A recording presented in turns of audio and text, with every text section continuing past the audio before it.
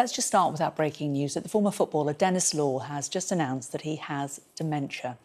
Law is one of the few players who played for both Manchester City and Manchester United and says that he's had a difficult year with long periods of isolation.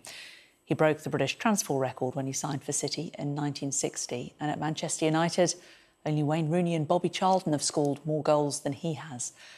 He says he's been diagnosed with mixed dementia, which is more than one type of dementia, and says, in my case, this being Alzheimer's and vascular dementia. In a statement, he also said, You hope it won't happen to you, even make jokes about it whilst ignoring the early signs, because you don't want it to be true. However, the time has come to tackle this head on. Excuse the pun. I do understand what is happening, and that is why I want to address my situation now whilst I'm able, because I know that there are days when I don't understand and I hate the thought of that right now.